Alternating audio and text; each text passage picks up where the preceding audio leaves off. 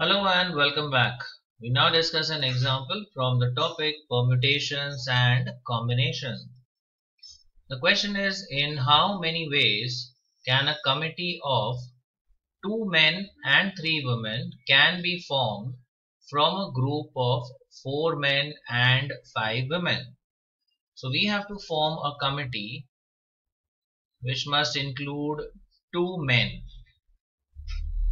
okay say first man M1 and the second man M2 and three women.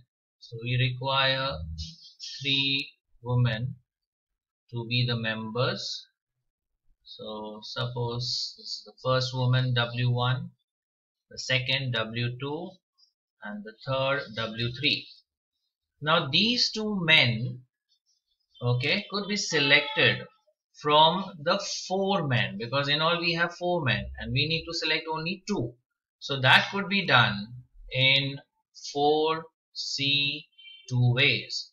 So two men can be selected in 4c two ways.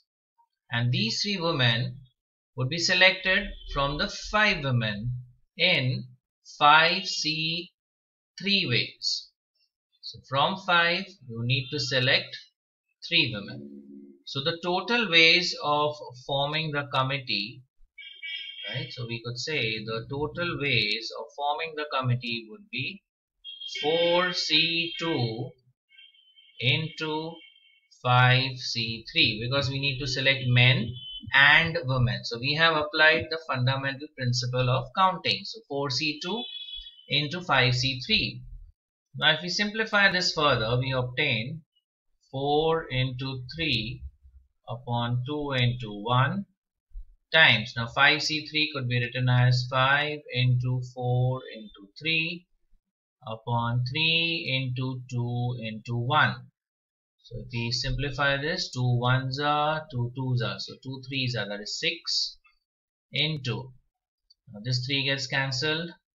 2 ones are, 2 twos are. So 5 twos are is 10. So our final answer is 60. So the committee could be formed in 60 different ways.